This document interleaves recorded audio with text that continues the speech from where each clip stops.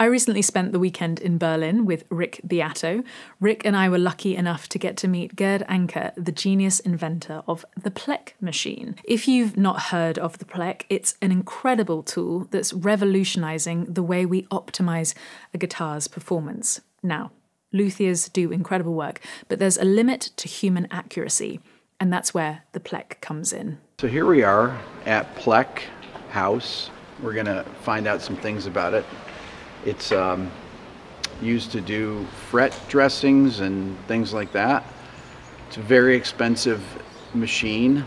I don't know much about it, but I'm very curious to learn. So I invited Mary along, who's here visiting in Berlin, where I have my show tonight, to see how this thing works. All guitars suffer wear and tear as we play them, leading to problems like buzz areas on the fingerboard, fret wear, or an uneven fingerboard. You are a blues player and uh, you bend till major third or whatever. Yes, right. Then you need to grip uh, not to have too low frets because right. the string is uh, slide under your finger. Yeah. You don't want that. Right. Uh, so this all goes into to the situation where someone is uh, setting the virtual fret dress for the player. Okay. The reasons for that wear might be very different depending on what style of player you are.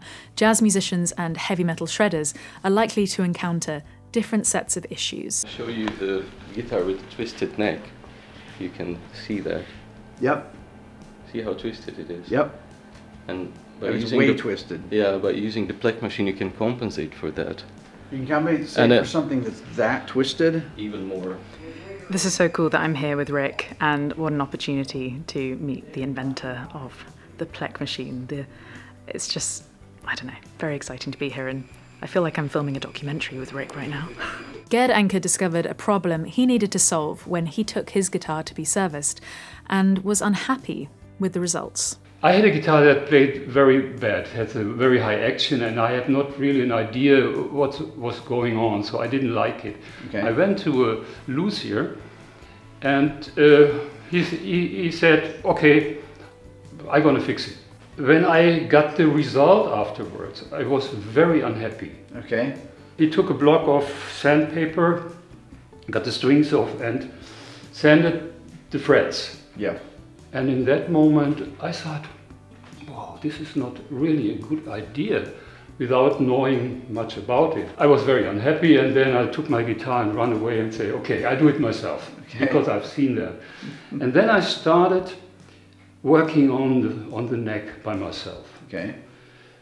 And uh, yeah, and then I was just uh, playing the frets, playing again, and then I noticed, oh, it's not so easy because it was buzzing here when I changed something, the neck relief, oh, it was buzzing there.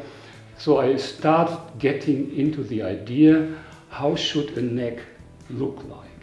And then, yeah, I got into the idea and built kind of a system in my, actually in my, my bedroom. A luthier will have to remove the strings to access the frets, completely changing the pressure on the neck. It's like trying to ice a cake before you've baked it.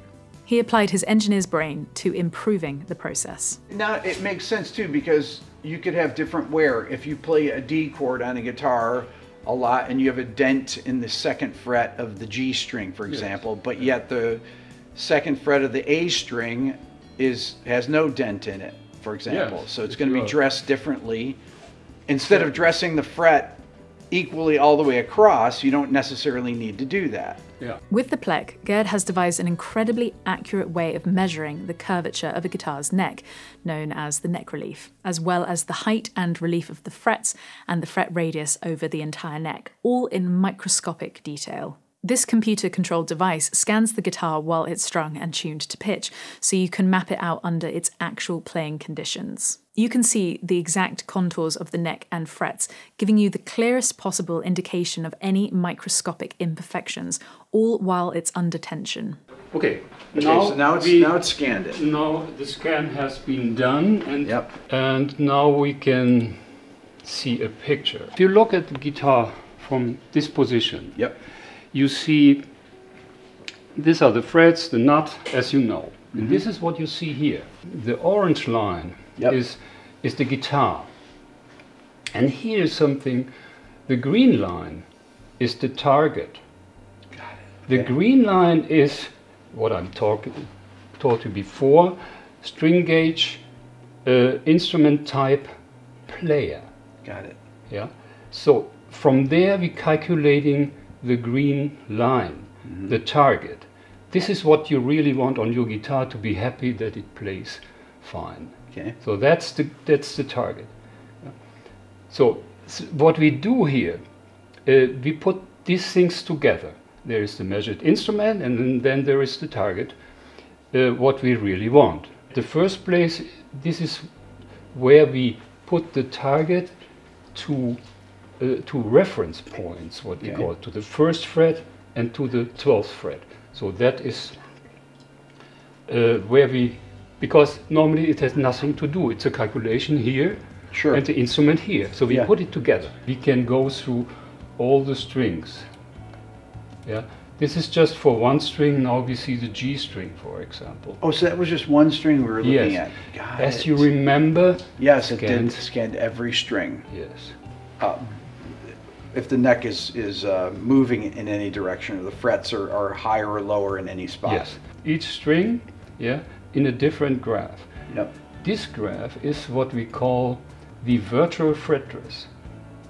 The traditional way is just taking a sandpaper, a file, a stone, uh, whatever, to uh, get the fret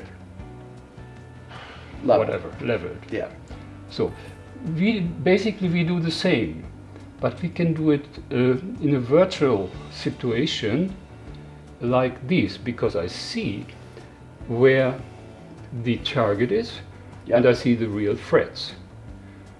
And by the way, here these numbers they show me the fret height. Okay. I, I know exactly the height of the fret. Okay. So, and what I can do here is I can move these around. Means if I, this is too low, Right. This is how you fix this. yeah, I'm fixing it by uh, moving the target uh, around till the machine would Everything would be the red line would be above every fret. exactly. Got it. After the scan has been completed, you'll know whether the truss rod needs to be tightened and by how much, whether the nut and bridge need to be adjusted or replaced, overall and for every individual string, what the overall shape of the fingerboard is, what the neck relief is under each individual string, and whether it is as good as it could be, the height of the frets and whether there are any potential buzzing issues, whether the fret radius needs to be changed anywhere on the fingerboard. If there are buzzing issues, we can see how much fret material needs to be removed to achieve optimal playability, or if the frets are so worn down that they need to be partially or completely replaced. The machine then identifies very precisely what amendments need to be made for perfect fretwork and makes them with a special cutting tool, a process far more accurate than human hands could ever hope to achieve, ensuring perfect results when the instrument has been restrung. When you have set the virtual fret dress, this machine is able to dress the threads. I, I want to see it. How do how does this? I want to see this in action. The tool that runs in front of the Yes. it, it puts a tiny little bit of oil on the threads to make an, a, a nice cut and a very smooth cut. The Plek also works on improving its own processes by conducting an additional calibration scan, so it records how accurately it made the amendments it set out to do. We scan again after dressing, Okay. which is only important for what we call calibration of the machine. Because now it is noticing how much it's supposed to take off and how much it did. And from there we do little corrections, thousands of millimeters. It's just incredibly clever engineering. The Plek is not a replacement for a luthier. The technician's interpretation of the scan results are just as important a part of the process, but it's an incredibly valuable addition to their toolbox, allowing a granular degree of accuracy and consistency, and taking some of the time consuming labour out of the job. Okay, maybe I'll just put it here on the desk. You can see the tiny, tiny marks. Yeah. The, the two left, but they are almost done. Yeah. And if you take a bit of, this is already very good. Okay. Sometimes.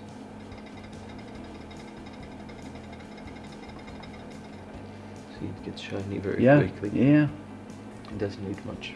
They're already being used by companies like Gibson to ensure every guitar comes out of the factory in the best possible shape. Mary, what do you think? Brilliant. Brilliant. You're a genius. It's amazing to, I mean, to meet the creator of this machine that's so famous in guitar players. It's, um, Thank you.